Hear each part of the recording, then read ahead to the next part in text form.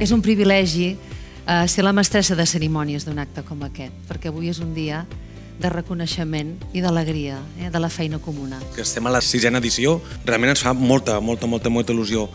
Gràcies als candidats que us heu presentat, gràcies al jurat, que heu fet una feinada increïble per avaluar 46 candidatures que són totes molt bones, sobretot gràcies a l'organització, gràcies als equips i als companys de l'escola, que la veritat fa molta emoció poder treballar a l'escola. Hem tingut en els últims 10 anys 204 candidatures, les últimes 46, per tant vol dir que l'interès en innovar i en fer les coses no bé, sinó millor, va a més.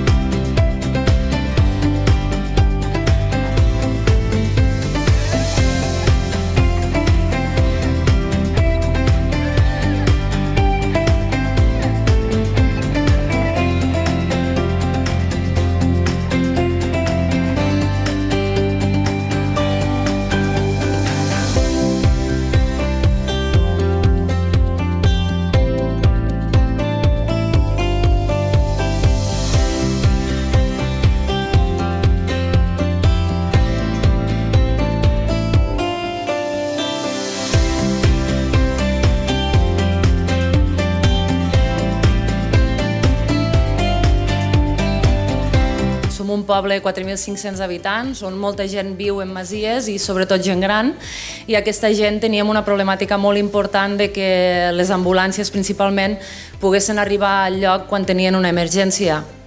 Fruit d'això vam pensar que podíem geolocalitzar totes les masies i a partir d'aquí quan truques al servei d'emergències poden buscar al Google Maps i des d'allí poden arribar als serveis d'emergència amb, amb més velocitat i moltes vegades pots aconseguir eh, salvar una vida.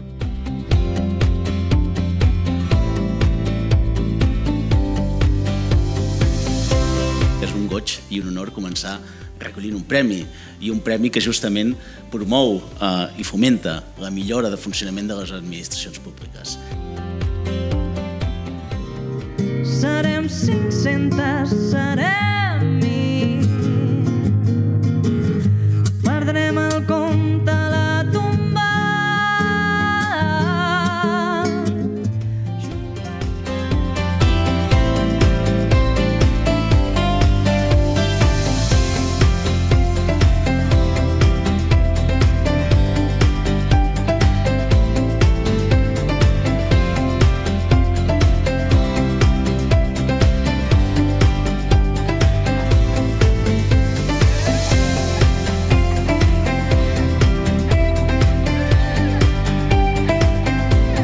Això es tracta d'aquest apoderament, d'aquestes noves governances, d'aquesta nova manera de fer, d'aquesta nova manera de, de liderar també, eh? i és aquesta nova manera de capacitar o aquesta nova manera de delegar portada a l'administració pública. Tenim un pla xarxa a la Diputació que eh, es concreta en una governança entre el conjunt d'equips de la Diputació de Barcelona i el conjunt de governs locals. D'aquesta manera eh, treballem plegats per un mateix objectiu, que és millorar la vida dels nostres pobles i ciutats i per derivació de la nostra ciutadania. intentar amb aquest projecte doncs, cobrir tots els recursos que els empleats públics podien tenir a l'hora de desenvolupar la seva feina des de l'àmbit de les dades. Sempre amb aquesta perspectiva de poder prendre millors decisions, generar transparència, obrir les dades i en el fi, cap a la fi fer polítiques públiques. Aquest any 2022 hem tret el decret d'equipaments cívics i comunitaris que culmina aquesta transformació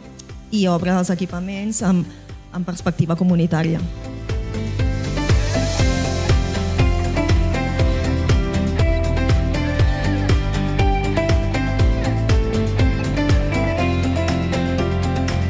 Ens sembla important que fem aquests guardons i els fem perquè efectivament tots els que som aquí volem millorar l'administració, volem fer governs oberts, col·laboratius, transparents, volem ser més eficients, eficaços en la nostra el nostre treball del dia a dia, volem innovació i qualitats democràtiques, volem una democràcia de més qualitat i ho fem en la nostra tasca diària, permanent, de forma silenciosa a vegades i poc reconeguda o coneguda i per tant doncs, uns premis com aquests els posen en valor.